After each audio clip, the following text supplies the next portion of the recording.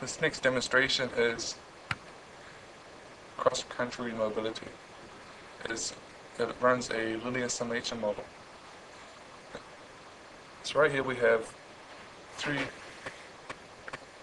three units, perhaps of vehicles or tanks, and these vehicles need to make their way to a target.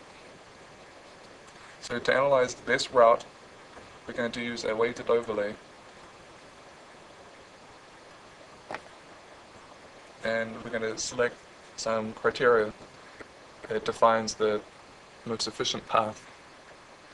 For example, these vehicles cannot traverse 35 or more degrees. And we can rate slope, vegetation, and, and routing, and the parameters within them.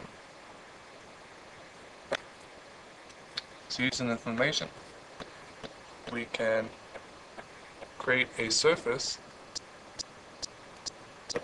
use those three layers to find out how costly each pixel is on the map.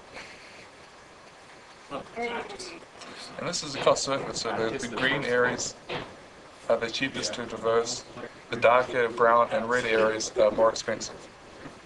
So from these three positions, what is the most efficient path to the target?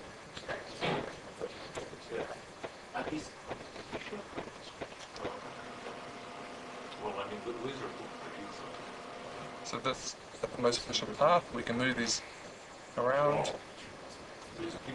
turn off this, and again we can recalculate the most efficient path.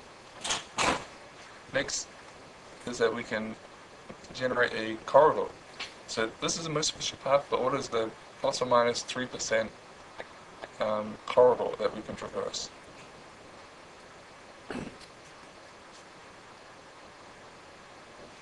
Right, so the, we just received um, the cost corridor from the server for three these three positions, and I might change the base map from ArcGIS Online mapping to ArcGIS Online imagery. So the darkest shade represents plus or minus 1 cost variation, and to the lightest color means 3%.